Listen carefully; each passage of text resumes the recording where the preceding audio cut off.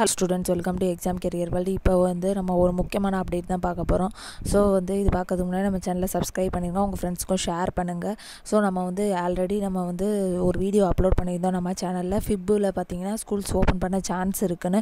அதே மாதிரி பார்த்தீங்கன்னா இப்போ வந்து சிஎம் அவர்கள் வந்து மந்த் எண்டில் எப்போயுமே அன்லாக் செயல்முறைகள் வந்து என்னென்ன தளர்வுகள் என்னென்ன பண்ணலான்னு சொல்லி அறிவிப்பாங்க. அதில் பார்த்தீங்கன்னா இப்போ வந்து நைன்த்து லெவன்த்துக்கு ஸ்கூல்ஸ் ரீஓப்பன் பண்ணலான்னு சொல்லியிருக்காங்க. ஃபெப்ரவரி எட்டாம் தேதியிலேருந்து ஃபிப்பு எட்டுலேருந்து உங்களுக்கு ஸ்கூல்ஸ் ரீஓப்பன் பண்ணலாம் அப்படின்னு சொல்லியிருக்காங்க. வழிகாட்டு நெறிமுறைகளை ஃபாலோ பண்ணி ஓப்பன் பண்ணணும் அப்படின்னு சொல்லியிருக்காங்க. அதுக்கப்புறம் பார்த்தீங்கன்னா நிறைய colleges engineering arts arts and science அப்புறம் பாலிடெக்னிக் இந்த மாதிரி காலேஜஸ்லாம் நீங்கள் ஓப்பன் பண்ணலாம். அன்னையிலேருந்து ஓ ஃபிப்ரவரி எட்டுலேருந்து ஓப்பன் பண்ணலான்னு சொல்லி சொல்லியிருக்காங்க.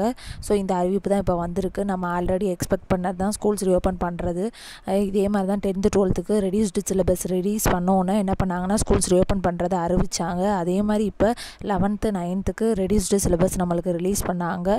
ஸோ ஃபிப்பு ஒன்றாந்தேதி நம்ம இருக்கோம்னு நம்ம வந்து நினச்சி சொல்லிகிட்டு இருந்தோம் தகவல் வந்துருந்துச்சு. ஆனால் இப்போ வந்து கன்ஃபார்மாக தெரிஞ்சிருச்சு. சிஎம் அவர்கள் சொல்லிட்டாங்க. ஃபிப்பு எட்டுலேருந்து உங்களுக்கு வந்து ஸ்கூல்ஸ் ஓப்பன் ஆக போகுது.